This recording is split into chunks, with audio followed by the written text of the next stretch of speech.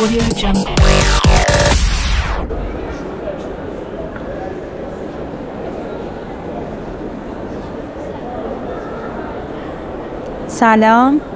خوبین؟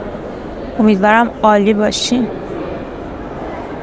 من امروز اومدم یه پاساژ نزدیک خونمون چون ما ساکن غرب تهرانیم. ایرامال بهمون نزدیکه. ایرامال بزرگترین پاساژ ایرانه. که اینقدر بزرگی هنوز کامل راه نیفتاده بعد چند سال. ولی یه بخش خیلی بزرگیش راه افتاده و خیلی دیدنیه به نظرم.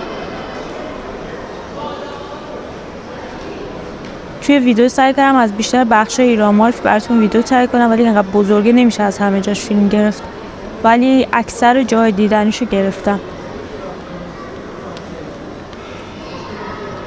ببینین و لذتشو ببرین.